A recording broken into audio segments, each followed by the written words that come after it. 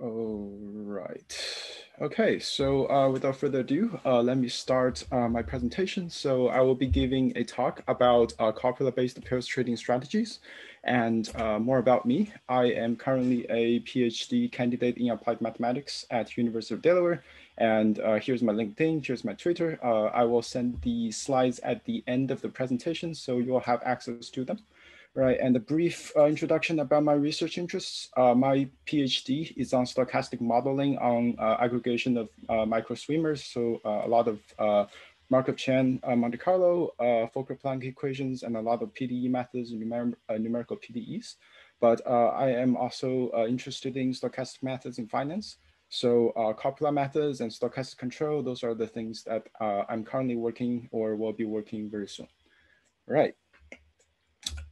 Okay, so here's uh, what I'm going to talk about today. So at first, I'm going to introduce you uh, sort of at a ramp for people who has not seen uh, what copula is, um, giving, giving you an experiment about uh, why we need to use copula, what kind of problem, what kind of questions uh, is copula trying to address. And then we're going to talk very, uh, very briefly about the mathematics. And then we're going to talk about the strategies and interesting works that, that copula can be applied to. All right, and uh, first thing I need to disclaim that uh, copula itself is a pretty uh, vast subject in uh, probability theory or applied probability uh, theory. So there's quite a lot of analysis to get done. And uh, I don't wanna turn this into a mathematical seminar presentation. So I will keep the math minimum to keep it attached to the strategies, all right? And the strategy itself is pretty straightforward to understand once you understand what a copula is uh, strategy is basically as simple as it can be. All right, and uh, copula is still a relatively uh, novel uh, field. Uh, not many people are in this uh, genre for pairs trading. There are a lot of people using the copula for CDO pricings and risk management, but um, this module is also built on the assumption that some people might use this for other purposes, so you can play around with it for using the ArbitrageLab. Right, so let's uh, at first try to solve a mystery. So let's say that you are a quant trader, right? And you see uh, two stocks, their historical uh, data. Uh, all right, so they look like a bell shape and they look symmetric, right? So uh, you did some statistical tests and they showed that they are uh, normal. And because you want to do pairs trading based on them, so a natural question to ask is, what's the relationship between those two? What's the joint, what's, what's the joint distribution? Right? A natural thing to think is because one is normal, another is normal. So uh, we assume that, uh, or you assume that uh, the joint is a uh, bivariate normal. So the question is, if one of the random variable is normal and another is also a normal, uh, when you combine them together, uh, does it form a bivariate normal, right? And the question, the answer is no, all right? So because it's no, because the answer is no. Uh, we want to know how far away uh, or how true is this assumption? Like, is it really, uh, uh does it really deviate, uh, does it really deviate, deviate away from the, um, uh, from the truth? How far are we away from the truth?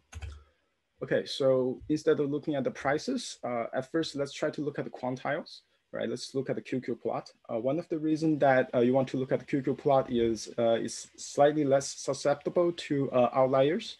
And also it sort of normalizes the data between uh, zero to one, right? Because when you change things to quantile, uh, let's say you're doing a one variable change, right? So um, it will become uniform to zero and one. All right, and that's that's just much nicer to handle with compared to a lot of different combinations of um, uh, marginal distributions. So for example, if you have two socks and one is a normal, another is a uh, beta distribution, right? Or one is a beta, another is some other distributions. There are just so many combinations, it's very hard to handle it. All right, so uh, if it's generated from a bivariate Gaussian kernel, uh, you will generally see plots like this, all right? And however, uh, in, in reality, you'll more or less see something that looks like the right-hand side. So uh, what does it mean? Like, what's the difference? So a key difference that you can observe here is there are some aggregation behaviors at the corners. So for example, this one especially is at the lower left corner. So uh, realistic, realistically speaking, what does this mean? That means, okay, so if you're plotting the quantile quantile of the prices, that means there are a lot of uh, cold movements downward uh, in terms of the prices, which is uh, what you will usually see together uh, in the market, right? Because when the market goes down, everything goes down and the correlation between uh, different stock pairs, uh, they increase by quite a lot. And upward, sometimes you will see aggregations, but generally it's much less pronounced as the lower left ones. why so? That's because generally when the market goes up, not everything goes up right? But when the market goes down, everything goes down. So uh, that's generally just what happens uh, in the uh, in the market. Of course, it depends on different uh, stocks specifically, but uh, in reality, this is what uh, you will usually see for the for the QQ plot. Okay, so let's try to summarize what kind of questions or problems does the copula try to address and what went wrong in our mystery solving procedure right? So the first thing is uh, if you have marginal Gaussians, uh, you cannot make a joint Gaussian. This is just straight out uh, not true. A lot of people make these mistakes. Uh, and uh, this one probably also caused the 2008 financial crisis because people use the Gaussian copula to model pretty much everything, which doesn't account for the uh, code mo movements on the tails, which brings us to the tail dependency. So uh, what, what's tail dependency? So this is a part of the non-linearity dependency structure between uh, two random variables, uh, especially at the lower left corner and at the uh, lower uh, and the upper right corner. So those are uh, those means that around the tails, they move together much more often. So Copula is very good at modeling the tail dependencies. And actually that's one of the reasons why Copula was initially created in the 40s and 50s to model those kind of behaviors right? So the solution is uh, to use copula and uh, we're gonna apply copula for pairs trading. But at first, let's try to uh, understand the mathematical concept of copula. So what does copula mean? What does it do? All right, so copula uh, in Latin, it means link, like chains uh, linked together, right? So, so at first, let's try to get data from two uh, random variables. So let's say S1 and S2. Uh, so we can think of, of those as uh, stock prices. You can think of those as uh, like returns. You can think of those as um, uh, just prices of any securities, right? And the second thing is you want to map them to the quantiles, U1 uh, and U2. So U1 and U2 will be uniform uh, in zero and one using their marginal cumulative density functions. And then you try to calculate the joint cumulative density on the quantiles.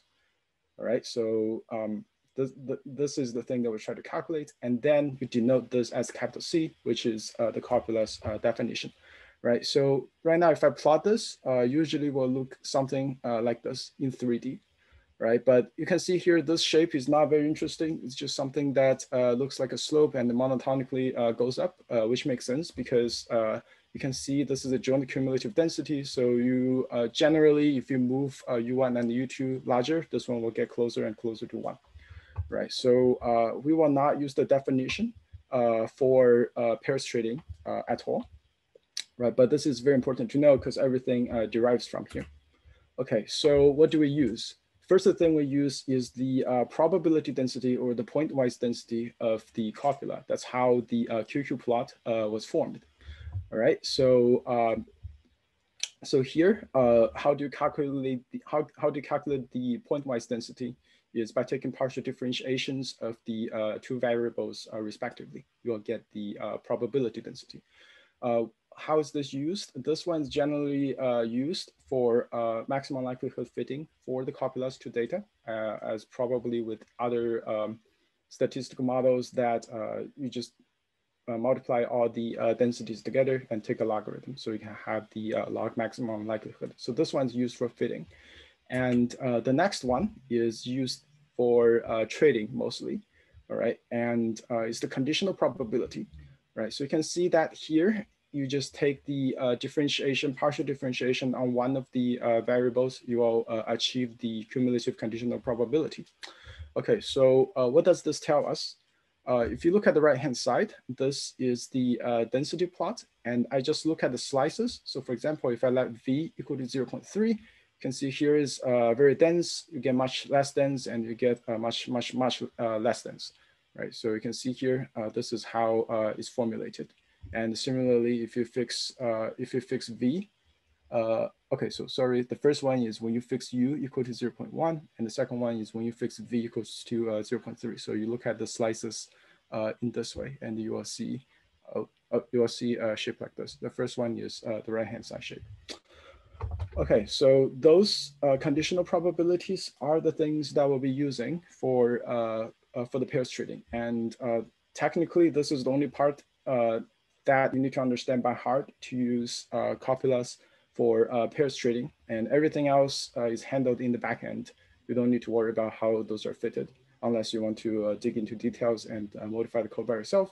Uh, but uh, the conditional probabilities will tell you the relative mispricings of the copula, which is something that we are talking about now. Okay, so imagine that you have see some data, all right, and you convert them to their quantiles, U1 and U2 right? And the capital U1 and capital U2, those are the random variables. So at first, let's just look at those for example.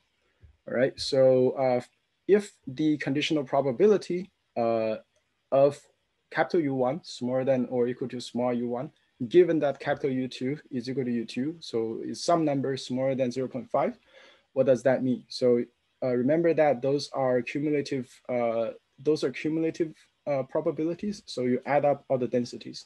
So if I add up all the densities, all the bars up until here, that's some number smaller than 0.5, right? And if I add up all the densities together, it should be one. And if it's something smaller than 0.5, so for example, it's like, let's say 0.2, you can see that uh, this dashed line, which is uh, where the prices lies currently, is smaller than uh, what we generally consider the uh, average, right? So therefore stock one is considered to be uh, undervalued. So very similarly, if you look at the uh, second equation, all right, and you will see that the stock one in this case is considered to be overvalued because all the densities adding up together right here, all the areas uh, for the bars adding up together is greater than uh, 0.5. And this is indeed considered to be a, a, relatively larger price. Okay, so the thing is how do we um, combine those two together to give us a, a strategy? All right, so uh, strategy number one is we just do uh, simple thresholds on the prices. We can use log prices as well. It will give you the uh, identical results. And indeed, when we're plotting the results, generally uh, we plot the uh, log prices, right? Because the stocks, one may have generally be around the prices of 100, another may be uh, around the prices of like 30 or something. And if you normalize them by using logarithm prices, that's a lot better. so Copula, since it works on the quantiles, generally just compares which number is larger, right? So it doesn't really matter if you use uh, prices or log prices. It will give it will give you the uh, the uh, identical results. So that's nice, but uh, to make things easier to understand, let's right now just stick to uh, prices at first. At first, uh, let's fix on the consensus because we're doing pairs trading, right? So we want to figure out how we define the spread. So the spread is stock one minus uh, stock two, uh, multiplied respectively with their uh, specific uh, hedge ratios. You can choose different assumptions on the hedging strategies, but uh, let's say that gener gener generically speaking, you have H1 uh, and H2. Okay, so now let's look at the first item. So this is when we want to loan the spread. So uh, here in the first case, we have previously agreed that uh, when the conditional probability is smaller than 0.5, that means it's undervalued. So here is smaller than 0.05, so therefore S1 is really undervalued. And similarly, if you look at the right-hand side, it's greater than 0.5, right? Actually here is 0 0.95. Uh, so S2 is uh, very overvalued. And you can change the numbers in the module by, uh, by yourself and you can change the logic as well, but we'll get that uh, very soon. So right now, let's just try to understand what this means. So in this case, if S1 is undervalued, S2 is overvalued, a natural thing to do is you want to buy S1 and sell S2 for a, a mean reversion bet, right? So when you buy S1 and sell S2, that means you want to loan the spread, right? So I uh, hope everyone uh, is able to follow along with me here. So now let's look at the uh, number two term. Right, so here you can see that following the same argument, here uh, S2 becomes undervalued and S1 becomes overvalued. So therefore, uh, we want to short the spread. And uh, the third thing we look at is when do we want to exit the position? right? So when both conditional probabilities, they cross the boundary of 0.5, that means previously whether uh, one of whether they are uh, undervalued or overvalued, we consider that position no longer valid as well. And here in the module, we can tweak this number as well uh, to make it a band cross instead of just a single number cross. And uh, when this is satisfied, we will exit the position. And uh, a very nice note, uh, a very important note to um, to uh, mention here is this result is very sensitive uh, to the logic, right? And um, if you change this and into an or, uh, it still makes logical sense, but the performance uh, will vary by quite a lot. And I do provide uh, those changes for you to uh, for you to make them in the code from the from from the direct um, from the direct API uh, from the user interface. You don't have to dig into the source code to change those. So there are a lot of things to play with. Um, and it's actually quite fun to see uh, how little changes like this, if you change this into an or, uh, sometimes it uh, similarly, uh, sometimes um, seemingly previously before the change, it might make money, but if you change the an or, it may not make money. So those logics are extremely important.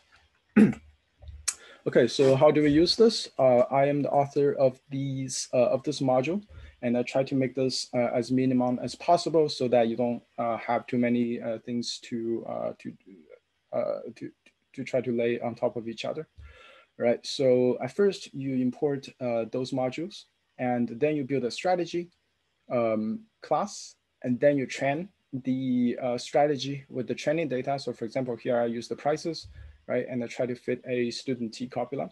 And you can use an AND exit logic, which is uh, by default. You can try to toggle it as well. You can try to change the uh, open thresholds.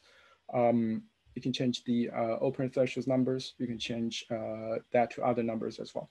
And the OR exit logic is uh, given right here. You can toggle it on and they will give you uh, different positions. And this is what generally uh, it looks like. So those are uh, reposition lock prices. So they all start from zero in the beginning, right? And you can see they look like this. And the positions suggested by an N13 copula is that uh, you take a short here and then you close the position here. So clearly this makes money. And similarly for student T copula, uh, you will see uh, a very similar behavior as well. So this strategy is relatively uh, robust uh, as compared to uh, strategy number two, which, will, which we will see very soon. And this is the equity curve. And here's another note why the OR exit strategy is a bit better. Um, you can see here that we have the CFG, which is a type of copula. This is a mixed copula, and it uses an AND exit logic and uses an uh, or exit logic. So you can see the AND exit logic doesn't uh, exit soon enough, right, as compared to the OR exit logic. So we generally suggest you to uh, use the um, OR exit logic, but if there's for some reason you want to use the AND logic out here, uh, we do provide that option. So it totally depends on you. Okay, so let's talk about some of the issues for the strategy number one. Uh, the first one is uh, remember that the copulas, uh, when we're fitting them and when we're using them, we look at the prices quantiles. We look at the quantiles. Here specifically is about the uh, prices and generally prices, they're not stationary. And because we're looking at quantiles, so after some period, you might see the prices hit quantiles one, one, one again, again, again. That's generally because uh, stock prices, they uh, generally goes up if it's a uh, good company, right? And um, there are a few ways to fix this. Uh, one obvious way to do this is uh, when you are selecting the pairs, you try to, for example, run like a Hurst exponent or do some other stationary uh, statistical test to try to make sure that the, the, the, pairs that you select, they have a relatively more stationary behavior. Second thing is you can just try to update the training set much more often. And then, for example, instead of using a whole year uh, for the for the uh, for the test, you only use like one month for the test, or you just train until yesterday and just plug in today's data and see how it goes. Right. This is the second way. The third way is you can minus the uh, the trend line. But uh, if you want to do that, then you need to change the strategy's uh, behavior fundamentally. All right. And uh, well, I will uh, probably write a blog post about how to how to do that as well because that's uh, as simple as it sounds, but mathematically it's actually uh, you need some you need to go through some plumbing of mathematical analysis to understand how to really tweak all the logics to be able to make the logic consistent. The second one is some of the prices series, they're really hard to fit. So for example, uh, here you have Apple and BA, what's BA? Bank, I think it's Bank of America. And this is the last nine years of prices and I just plug, uh, I just plot the uh, QQ plot together. You can see that uh, they have, uh, for example, local aggregations, right? And they have a symmetry. And uh, one thing to keep in mind that copula is generally used by uh, probability theory people and by a lot of analysts. So they want to do an analysis on their hand. So therefore, therefore, they generally assume a lot of rigid shapes on the copulas right? Uh, mixed copulas, you can do uh, a bit more uh, things with flexibility, but generally they are symmetric. They don't have local aggregations uh, other than uh, maybe at the corners, right? So therefore, uh, if you want to fit this to a copula, none of the copula is gonna look something like this, all right? And if you do, if you want to mix like 10 different copulas together, you might have like an issue of overfit as well. So this is generally a concern that even if you fix the prices, make sure that they don't blow up the roof all the time, you might still see some issues going on. So what do people do? Uh, for example, you can look at the returns. The returns are generally considered to be uh, stationary because they just bounce around zero. So it's, uh, it's a lot easier to, uh, to use. And you can see the uh, result is indeed uh, much more regular. Okay, so now let's do a quick review about our strategy one. Uh, two disadvantages, prices are not uh, stationary and uh, the prices series are hard to fit as we have discussed. And there are two advantages. The first one is it's really simple and it's very easy to tell people what it, uh, what it is. Uh, I know that, for example, if this is your first time uh, seeing the copula, those kind of stuff, this might not look as simple as it sounds, but uh, trust me, this is basically as simple as it can get. And if someone wants to take the time to understand how to think in quantiles uh, in the copula world, um, this is generally the, the first strategy that uh, you're going to come up with. And uh, the second one is the uh, performance uh, is very robust. So for example, uh, you can fit a price series with different types of copulas. And if you choose them by, for example, maximum likelihood or by information criterions, usually the top candidates, they don't differ by quite much uh, as regard to, in regard to their performance. So this one is really robust. Okay, so now let's move on to uh, strategy number two. As we have discussed, uh, we're gonna work on returns instead. Uh, so right now we fundamentally address the issue that the uh, prices are not stationary, right? So we call this the MPIs, uh, mispricing indexes. So what are they? Uh, so previously we have calculated conditional probabilities on prices. This is just calculating conditional probabilities on returns. So it's just a fancy name. so I just call them, or people just call them MPIs. Okay, so uh, here the small r's, those are um, those are observation data of uh, stock X and stock Y, and the capital R's are the random variables.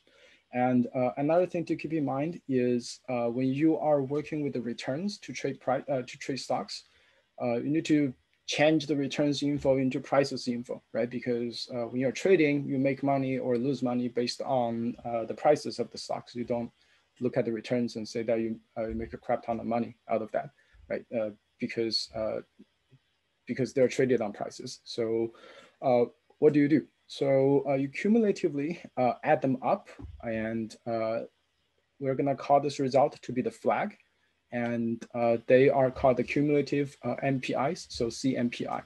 Another thing is when you are adding them up, so for example, uh, at day zero, you calculate the MPIs, all right, you need to minus them by 0.5. Why do you need to minus them by 0.5? That's because uh, those are conditional probabilities uh, in essence, and you need to minus the average so that you can see things bouncing around zeros instead of seeing things bouncing around uh, some moving average number that keeps going up on average right? So it's just much easier, uh, much easier to see and much uh, easier to think because generally you think if something is greater than 0.5, then that's considered to be overpriced. If something that's smaller than, uh, no, sorry, if something is greater than zero, then that's considered to be overpriced. If something is smaller than zero, that's uh, considered to be underpriced. That's much easier, easier to think than uh, thinking about something that keeps going up. All right, so uh, how do you cumulatively add them up? So every day uh, you minus the average, right, minus, uh, minus the average is 0.5, and then just add that to the yesterday's uh, cumulative sum. So you cumulatively sum them up. And uh, of course, you start from zero as well. okay, and this is not the whole story. The real flag series without the stars, uh, they will be reset to zero whenever there is an uh, exit signal, and you'll see uh, very soon why. Okay, so now let's talk about the uh, rules, uh, how uh, how the position gets open, how the position was exited, and how to reset. Right, so this whole thing was framed under a dollar neutral strategy. Uh, why dollar neutral? That's because uh, you're trading on the uh, returns. So you want uh, instant rebalance to shield you uh, away from the uh, market at first, and then to instantaneously reflect the um, mispricing levels between the two. So you want a dollar neutral strategy to hedge uh, at the moment when you open the trades. So that's uh, what the dollar strategy, what the dollar neutral strategy uh, is used for. Okay, so uh, here's a lot of words. So I'm just gonna guide you through uh, one here and one here. So you can uh, work the rest out, by you, the, the logic is, is very similar. Okay, so when flag X reaches 0.6, you can change the number as well, of course. Here's just, just there for example. Then X stock is considered to be uh, overvalued. So therefore you short X and buy Y in equal dollar uh, amounts. So to, to make it dollar neutral. All right, so when do you exit? So when X is no longer mispriced, we want to exit, right? So here, when the trades are opened based on uh, flag X, then close if flag X returns to zero. So therefore it's no longer mispriced or when it reaches plus or minus two. Okay, so this is something new. Uh, what does this mean? Um, remember that we are trading based on the flags. We're not trading based on the uh, prices. The flags is model dependent. So here, this is an issue that how much should you trust the model, right? So if the model uh, keeps, uh, if the flag X keeps going up and up, and uh, if it reaches like, let's say five, you should really question that uh, is it really going to converge, right? So this is really just a cut loss sanity check that when it's, uh, when, when, when it has moved too far away from zero, there's something needs to be done. So for example, you can exit uh, the position. Um, so in my code, I do allow you to, um, uh, to, what's the word? To, uh, I do allow you to um, toggle this off so that uh, you can try, uh, you can try to put in different numbers. Uh, for example, you can put in numpy infinity out there so that you will never trigger those two. And uh, the third one is the reset rule. So you want to reset uh, the flags to zero when you exit because uh, it will consider to be a fresh start since you are using a dollar neutral strategy, right? Okay, so this is how it looks like. The uh, IO is very similar to the uh, previous one, all right? And I try to make it as minimal as possible. Uh, here you have a, a new function that you might want to use because it's a dollar neutral strategy. So I coded a uh, converting the positions, which are uh, plus, minus one and zeros into uh, dollar neutral uh, units of how much uh, units that you want to hold. So it's easier to do back tests. And you can change the multiplier as well. For example, uh, here is for $10,000 investment. So just multiply everything by 10,000. And this is the performance that you'll see uh, under the uh, original suggestions by the authors. Uh, I have added other choices for you to play with as well, but let's let's just go through one example and see uh, what this is. So those are the flag series. All right, so they look seemingly that they are mean reverting. So you all might be thinking, uh, what does the person mean when uh, he's saying that it's not mean reversion? This looks mean reversion. Okay, so remember that when it passes by 2.0, will reflect to zero if the position was open based on it, right? So a lot of those mean reversion behaviors, it's actually uh, fake mean reversion behaviors because uh, they goes by and get close to zero and just directly close the position and gets back to uh, gets back to zero. So uh, this is the issue. And uh, another, and uh, we'll discuss the issue very soon. So right now, let's look at the equity curve. Right, so the BK, the BKD prices and the ESC prices, uh, when they're normalized, uh, they look like this. And those are the results given by the two uh, copulas. And you will see that they sort of follow the same shape, but they're not very closely tracking with each other. That's because uh, the flag series, when it's generated from the copulas, those are uh, model-based. So you are building the strategy based on top of a model. So that's why uh, it's actually quite sensitive to the uh, copulas that you choose. All right, so now let's talk about the sensitivity. Uh, you can see here that in April and in May, they flip the positions uh, very often, right? And uh, remember that this is just using end of the day data every single day. So uh, in April and May, I think it's around like, uh, I don't know, like 21 days of trading, something like that. And you have flipped positions one, two, three, four, five, six times. That's, that's way too much. And that means this is very sensitive. And so therefore you need to uh, change the logics as compared to the uh, original strategy proposed by the author. So uh, let's talk about uh, how do we do it. So if you look at the opening rules, so the first one says that uh, when should you short X and buy Y. The last one also says that when should you short X and buy Y. So opening rules here, uh, as suggested by the author, it says that when any of those two is satisfied, you do a short. And essentially that means it's an OR logic, right? And you can change this OR into an AND. That will make the uh, situation much more robust. And I provided that option there as well exit rules here is the same thing as well. So here it says when any of those two is satisfied, you exit the rules. So that means um, you exit the uh, position. So that means this is also an uh, OR logic. And the third part is you can choose whether you want to reset uh, the zeros uh, when, uh, when you exit. So here, when you return to zero, you don't need to reset it. Uh, but when you reaches plus or minus two, you want to reset it, of course, right? Where you choose, you may choose not to. So those are all the uh, parts that you can play with. Okay, so let's talk about uh, the disadvantages of this one. Uh, I'm gonna be a little bit harsh on this because um, this method is used very often by uh, in combining with uh, other methods uh, in the copula trading strategies, and especially multiple pairs trading. This is like ex exclusively used. Uh, and there are some disadvantages. Uh, the first one is uh, the flags, they vary by copula, and this one is model-based. So therefore, uh, it's uh, much less stable compared to something directly work on the prices, right? And the second part is there are a lot of moving parts in the logic. So there are a lot of things to uh, tweak around with. You need to explore them by yourself, right? But this one also adds a lot of flexibility, which is one of the advantage. So that's nice.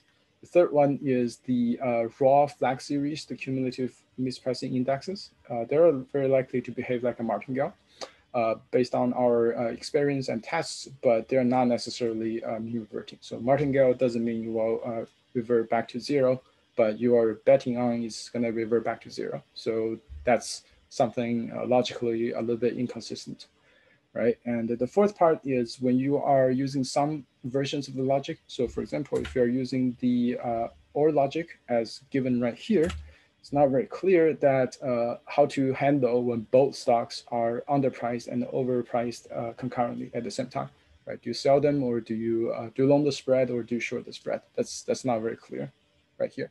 And this happens uh, semi-often in the uh, if you use real world data. Right, so now let's talk about the uh, advantages. So the returns, they are mean reverting. And uh, second thing is dollar neutral. So you have a lot of protections against the market movements, right? So it's less of like a beta hedge, but uh, but uh, but this is something much better than hedging probably like every uh, every three months, right? And uh, the third one is it's very flexible because you have a lot of moving parts. That's one of the advantage of this. And uh, the fourth one is it's a building block for a lot more complicated strategies. Right, so for example, you can use this for uh, multiple pairs trading. So here we only talk about copulas of two variables, but copula you can extend it, that to arbitrary number of uh, variables. Right, so, so, for example, for example, three, four, or five, so that you can exploit the um, mispricings when you have five stocks together. And those are the field that there are much less players so, uh, and we have, and I have built some um, Vine copula models as well, which will not be uh, discussed today because that's quite complicated and it's another totally different topic. But uh, with Vine copulas, you'll see the alpha is much better than those two uh, strategies, strategy one and strategy two. And if you want to see more critiques, uh, you can read uh, this paper, uh, Rad et al. in 2016 for more critiques on this method, right? So he summarizes all the things that I have uh, said over here and uh, raised other issues uh, as well when dealing and analyzed, I think it's a cohort of all the stocks from like 1940s or something. All right, and let's talk about uh, interesting works uh, for people who are uh, keen on uh, exploring things with the copula. Right. So the first one is uh, remember that the copula um, handles random variables. Random variables are not necessarily uh, time series, right? It's a little bit uh, more general. So the time series it has a very important thing is which one comes first, which one comes last when you look at the data. And uh, copula doesn't doesn't do it. It just directly looks at quantiles. So what that means is, uh, so for example, if you have prices right here, right? And if I just shuffle them by the dates, and when I want to train them the training set, I will get the exact same copula because it doesn't look at the time series. It just directly looks at the data and see the quantiles.